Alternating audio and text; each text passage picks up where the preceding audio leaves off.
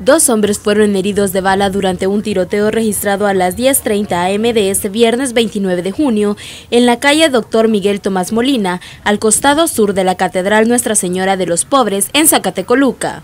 Según información brindada por personas que se encontraban en la zona a la hora del hecho, el ataque fue dirigido para una de las víctimas, que, según lugareños, es un reconocido ladrón, y se encuentra en condición grave en el Hospital Santa Teresa.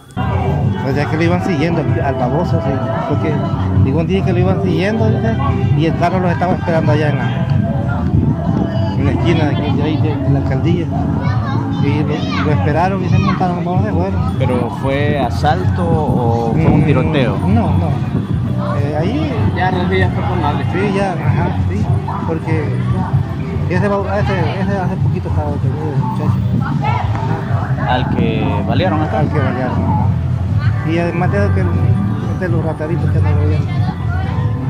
La segunda víctima fue un peatón que circulaba por la zona a la hora del ataque y resultó con una herida de bala en una de sus piernas. Este es un informe de la.